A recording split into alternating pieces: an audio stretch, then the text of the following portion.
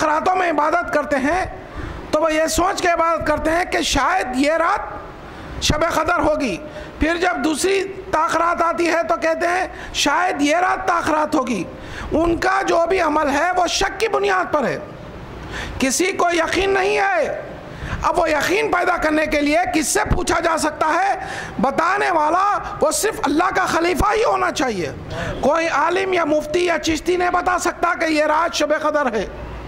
جو اللہ کا خلیفہ ہوگا معمور من اللہ ہوگا، دائی اللہ ہوگا معصومن الخطا ہوگا ہم سر رسول اللہ ہوگا، وہی بتا سکتا ہے کہ کون سی رات شب قدر ہے۔ کوئی اور نہیں بتا سکتا۔ تو مہدی معود علیہ السلام کی تصدیق کے صدقے و تفیل میں ہم کو جو یقین حاصل ہوا کہ شب قدر کی رات ستائیسویں ہی شب ہے، ہم لوگ یقین کے ساتھ عبادت کرتے ہیں۔ اور اللہ کے رسول صلی اللہ علیہ وسلم نے کیا فرمایا، دیکھیے آپ نے یہ نہیں فرمایا جس نے رات بھر عبادت کی نہیں فرمایا، بلکہ آپ نے فرمایا شب قدر کی رات میں یقین و ایمان کے ساتھ جس نے قیام کیا، چاہے وہ دو رکعت کیوں نہ ہو، بس جس نے قیام کیا یقین سے اس کے گناہ بخش دیے جاتے ہیں۔ جیسا کہ کل ہم نے سنا کہ اللہ کے رسول صلی اللہ علیہ وسلم فرماتے ہیں کہ جو اپنے امام کے ساتھ اتنی دیر کھڑا رہا جتنی دیر امام کھڑا ہوتا ہے اور امام کے ساتھ وہ پھر واپس چلا جاتا ہے گھر کو، تو پھر اللہ کے رسول صلی اللہ علیہ وسلم فرماتے ہیں کہ مجھے سارے زندگی کے روزوں سے بہتر ہے کہ امام کے ساتھ شب قدر میں کھڑا رہے اور امام کے ساتھ واپس ہو۔ ہمارا یہ عمل سنت رسول اکم صلی اللہ علیہ وسلم اور احادیث کے مطابق ہے، دیکھیے۔ پھر اس کے علاوہ ایک خاص بات جو یہ چار دنوں سے جو ہے ابھی بتائی نہیں گئی تھی، وہ یہ ہے کہ اللہ کے رسول صلی اللہ علیہ وسلم کہ جب ماہ رمضان کی پچیسویں رات آئی، ٹوئنٹی ففتھ بھی یہ تاخ رات تھی حدیث شریف میں اکیس اور تیویس کا ذکر نہیں ہے، صرف پچیسویں رات کا ذکر ہے۔ حضرت ابو ذر غفاری رضی اللہ تعالیٰ نے بیان کرتے ہیں کہ آپ نے فرمایا کہ اللہ کے رسول صلی اللہ علیہ وسلم پچیسویں شب میں ہم کو اتنی دیر نماز پڑھائے کہ آدھی رات ہو گئی، فرماتے ہیں۔ آدھی رات کے قریب کا وقت ہو گیا۔ پھر اس کے بعد جب آپ جانے لگے تو حضرت ابو ذر غفاری رضی اللہ تعالیٰ عنہ بیان فرماتے ہیں کہ ہم نے پوچھا کہ یا رسول اللہ صلی اللہ علیہ وسلم، اگر آج کی رات نفیل نمازیں پڑھاتے، ساری رات پڑھاتے تو ہمارے لیے بہتر ہوتا۔ تو اللہ کے رسول صلی اللہ علیہ وسلم نے اسی حدیث میں فرمایا کہ جو شخص جو ہے رات کی نماز میں اپنے مرشد یا اپنے جو ہے امام کے ساتھ صرف اتنی دیر کھڑا ہوتا ہے، جتنی دیر امام کھڑا ہوتا ہے اور وہ گھر کا چلا جاتا ہے، تو اس کا ثواب ساری رات کا گنا جاتا ہے۔ یہ پچیسویں شب کی بات تھی۔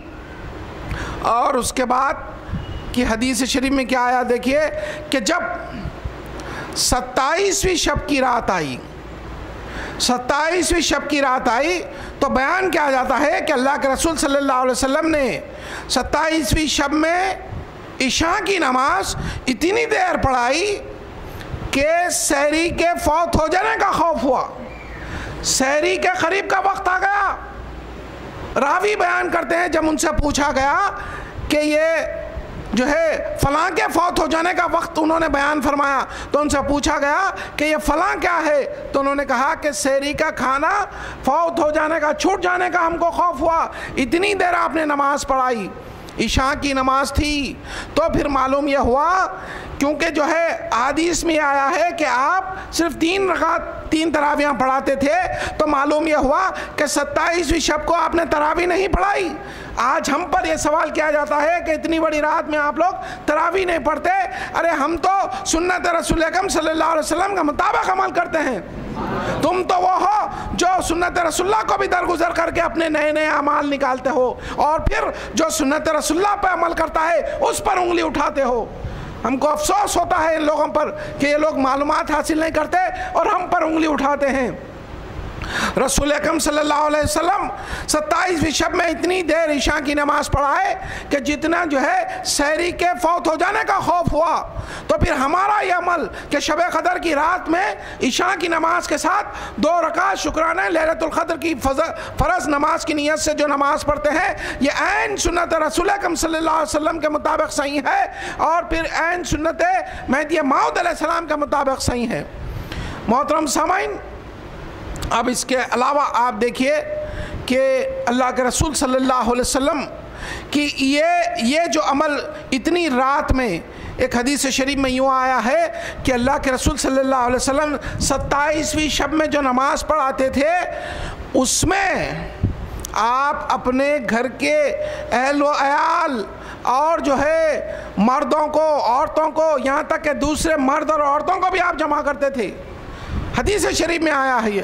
اور ہمارا یہ عمل کہ ستائیسویں شب میں تمام بچوں کو، عورتوں کو، بڑوں کو سب کو لے کر مسجد میں آنا اور شب قدر کی رات میں عشاء کی نماز ادا کرنا، دو رکعت للت القدر کی فرض نماز کی نیت مطابعت المہدی المعود امام کے پیچھے ہم فرض جان کر جماعت سے جو نماز پڑھتے ہیں، یہ سنت رسول اکرم صلی اللہ علیہ وسلم کے مطابق صحیح ہے۔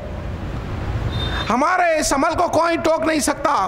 جو بھی انگلی اٹھاتا ہے، پہلے وہ جانچ لے، پہلے وہ سوچ لے حدیث کو پڑھ لے۔ جتنے بھی لوگ ہیں، انگلی اٹھاتے ہیں، جب ان کو یہ بتایا جاتا ہے، تو وہ خاموش چلے جاتے ہیں۔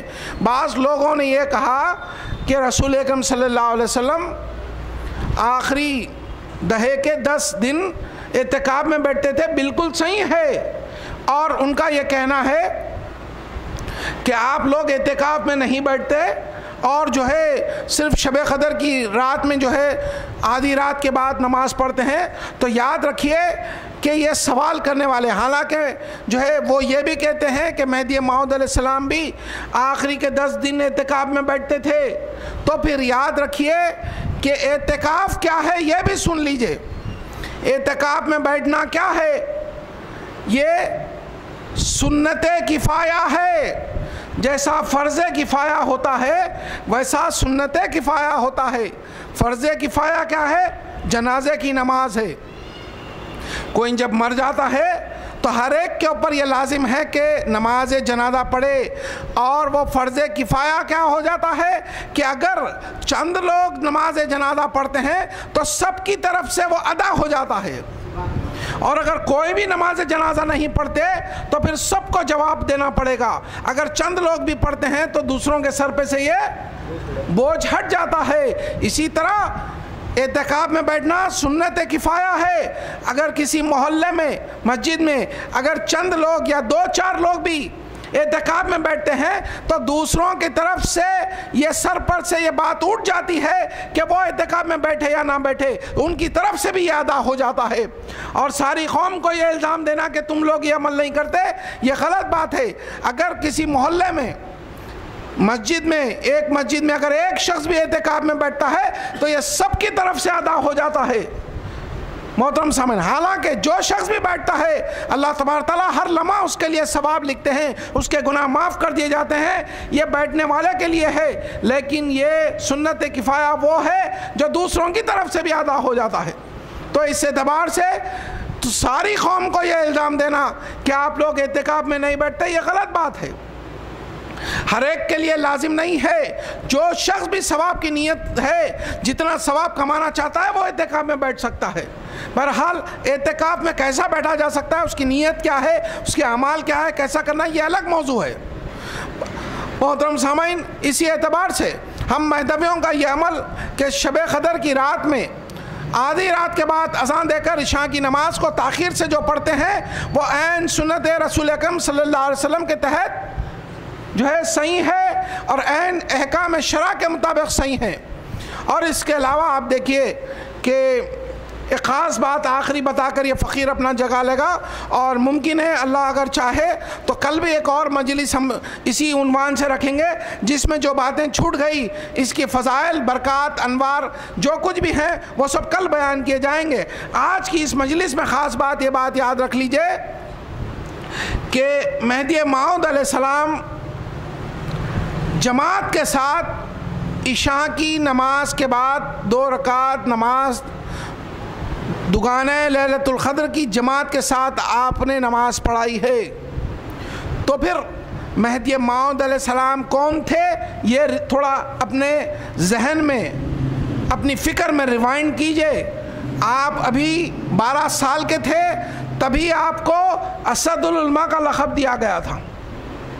تمام علماؤں کے آپ صدر تھے اسد العلماء آپ علماء کے شعر تھے۔ بارہ سال کی عمر میں آپ کا علم ایسا تھا کہ بڑے سے بڑا مفتی بھی آپ کے سامنے جھک گیا، بڑے سے بڑا عالم بھی یہ کہنے پر مجبور ہو گیا کہ یہ ہمارے سردار ہے یا عالموں کے سردار ہے تو مہدی معود علیہ السلام کا علم ایسا علم تھا، اللہ نے آپ کو ایسا علم دیا۔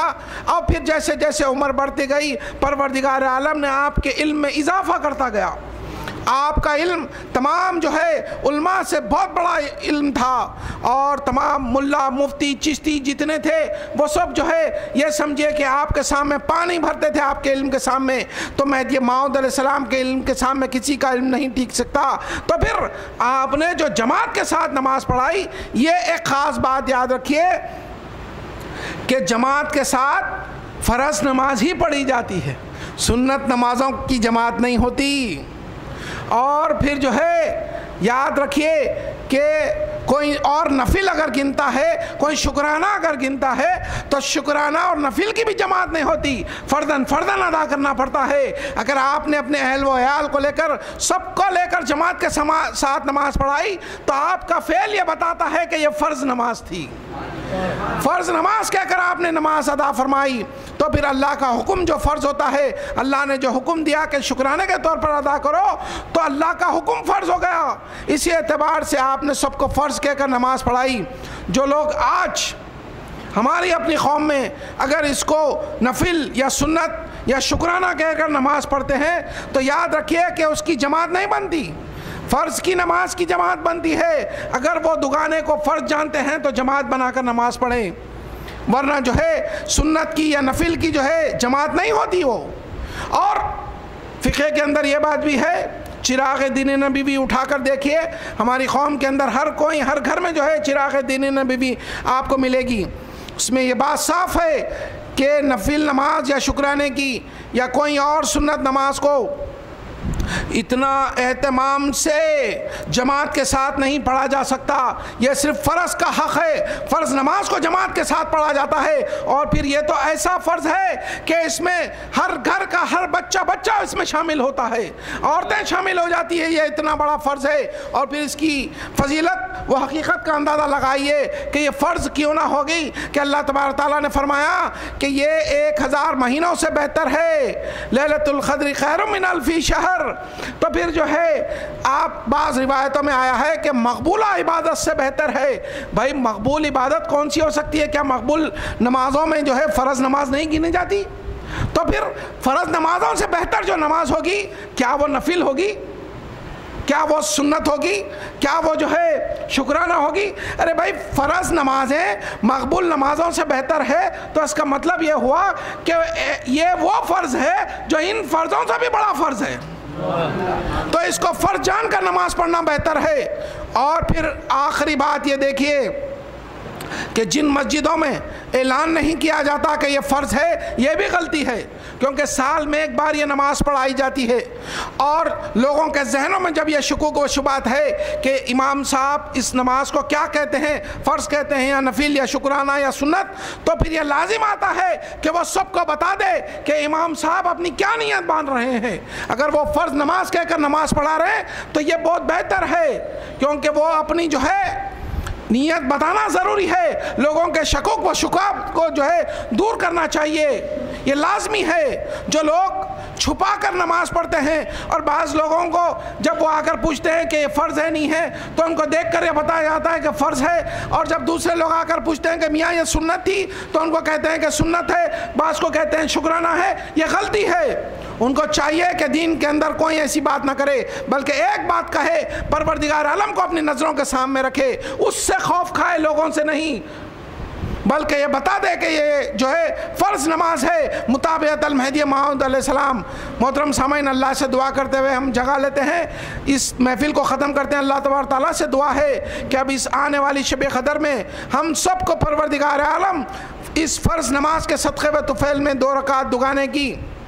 ہمارے گناہوں کو معاف فرما دے اور ہم کو جو ہے صحیح عبادت گزار بندہ بنا دے اور ہمارے دلوں میں اس کی بزرگی، وہ برتری اور بڑائی کو جو ہے اجاگر کر دے اور دنیا کو حقیر بنا کر پیش کرے۔ ہم کو مسکن بنا کر زندہ رکھے مسکن بنا کر مارے اور ہمارا شمار مسکنوں میں کیا جائے۔ آمین سم آمین واقر الدوان الحمد للہ رب العالمین۔